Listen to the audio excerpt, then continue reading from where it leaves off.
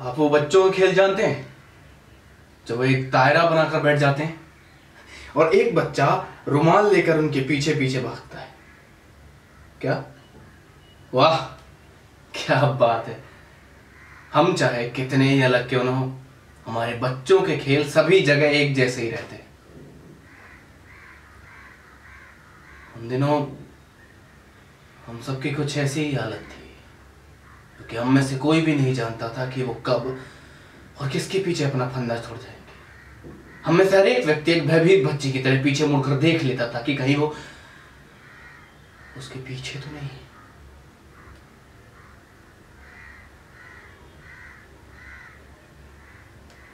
जना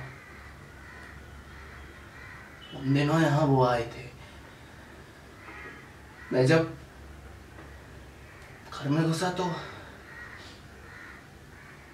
वैसे ले जा चुके थे जनाब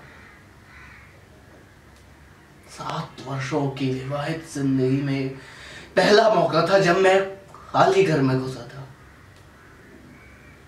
हाँ पड़ोसी ज़रूर अपनी अपनी खिड़कियों से मुझे झाँक कर देख रहे थे और स्वाभाविक भी था। मैं खुद ऐसे लोगों को अपनी खिड़की से झाँक कर देखा करता था, जिनके रिश्तेदारों को वो पकड़ कर ले जाया करते थे। लेकिन मैंने कभी ये कल्पना नहीं की थी कि एक दिन मैं घर लौटूँगा और मेरी पत्नी का कमरा खाली होगा।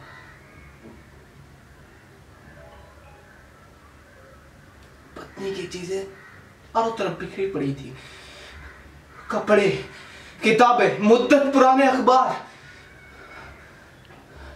हाँ आप जानते हैं, शादी के बाद कितनी चीज़ें खुद ब खुद इकट्ठा होती चली जाती हैं।